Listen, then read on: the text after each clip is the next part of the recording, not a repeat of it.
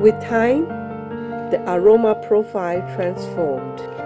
With time, the taste, as a matter of fact, become gentle but intense.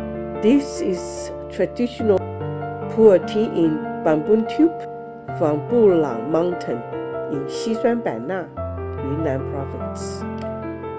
It was picked and compressed in 2003. It is very difficult to get it out. It has a very complex flavor, a mixture of floral, fruity, and bamboo.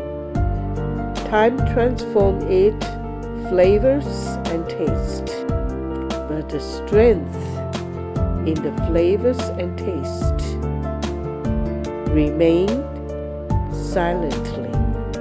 The flavor and taste are pretty intense and rich.